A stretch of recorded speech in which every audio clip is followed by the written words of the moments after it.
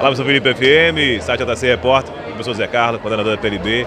E falando sobre mais uma jornada pedagógica, né, toda essa dinâmica que está sendo preparada para esse ano. A gente vivemos aí um período difícil, pandemia, agora voltando, precisamente aí esse fator motivacional aí para poder recuperar esse tempo perdido, né, professor? Bom dia. Bom dia, JC, bom dia aos ouvintes que acompanham a São Felipe FM e, o, e os canais de comunicação aí que esse, esse grande profissional é, desenvolve aqui em São Felipe.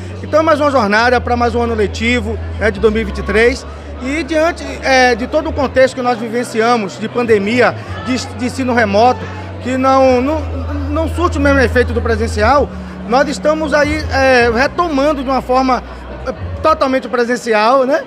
Para que a gente possa desenvolver um trabalho pedagógico é, com melhor qualidade, que possa surtir um efeito educacional mais positivo para os nossos educandos.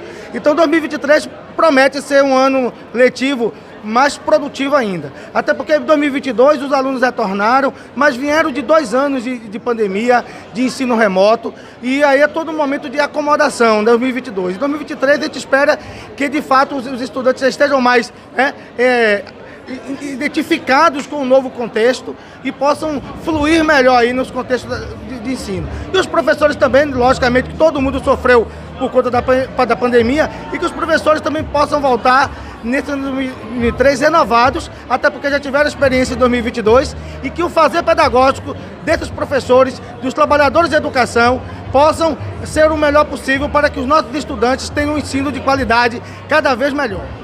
Como é que nós temos o diálogo né, da, do, da PLB junto com a secretaria, a gente vê aqui parte dos professores, né? Aquela assim, é uma certa liga né, com, com, com, o secretário de Educação, pessoalmente participando, todo mundo tendo um diálogo bastante aberto. Como é que tem sido essa questão da parte da PLB também com a Secretaria de Educação? Olha só, o nosso papel enquanto sindicato é justamente buscar estreitar o diálogo, ser parceiro nesse processo. Claro que nós vamos fazer a luta dos trabalhadores, o sindicato existe para isso, né?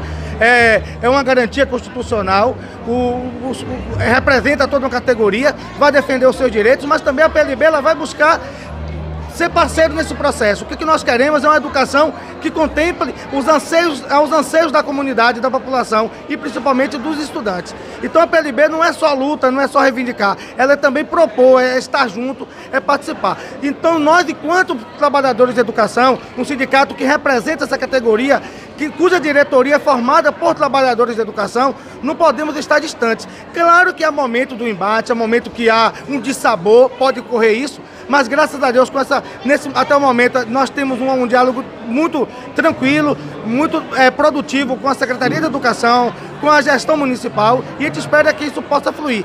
Claro que se necessitar de fazer um enfrentamento, fazer o debate, vamos fazer.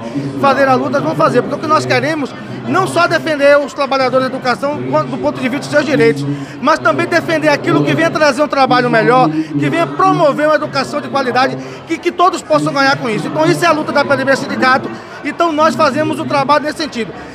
Na parceria, sabendo cada um tem seu papel, nós não somos gestão, nós somos um sindicato de luta, mas a luta não nos afasta do nosso, da nossa, do nosso compromisso, do nosso dever de também ajudar na educação. Professor, a gente acabou de sair né, de um processo eleitoral e né, temos aí mudança né, no governo federal, assim, mudança também no governo do estado, onde o secretário de Educação, né, passa agora está na governança e você consegue enxergar né, através dessas mudanças aí, né, é, assim, é, nova perspectiva para a questão educacional do nosso, nosso, nosso município e em relação ao nosso país.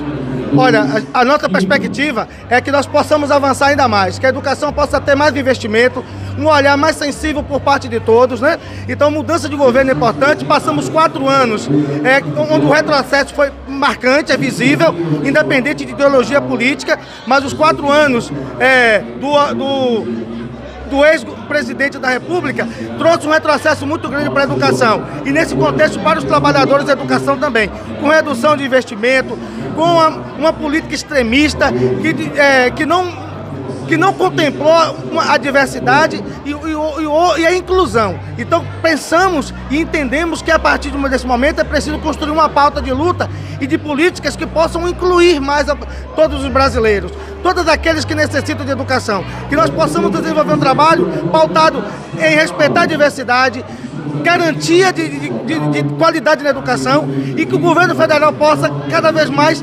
implementar políticas eficazes que busquem é, alavancar a qualidade do ensino e para isso precisa de mais investimento, né?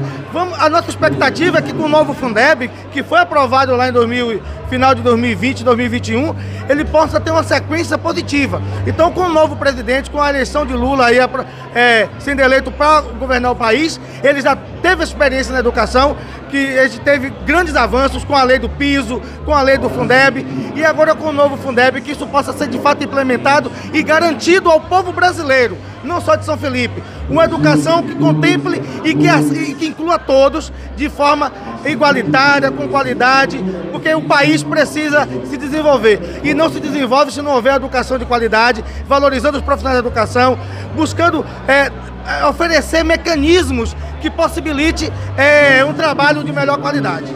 Aqui ao professor Zé Carlos, o microfone da rádio à disposição, algo mais acrescentar, professor, fique à vontade. Obrigado, Zé Carlos, estamos aí na luta, e como eu digo sempre, na luta e na labuta, né? A nossa luta é diária, é, buscando é, participar dos eventos, dos congressos, para trazer ideias e melhorias para a educação. E vamos fazer isso com o maior entusiasmo possível e com nossos professores, os trabalhadores de educação de modo geral, possam dar o melhor de si para esse povo, para essa clientela que tanto necessita né, de, uma, de um olhar atento, positivo e acolhedor, para que a nossa educação cada vez mais melhore. É isso aí, um abraço para todos. É, professor, professor Zé Carla, coordenador da PLB, falando conosco também aqui no dia de hoje, a Jornada Pedagógica 2023. Um abraço a todos vocês.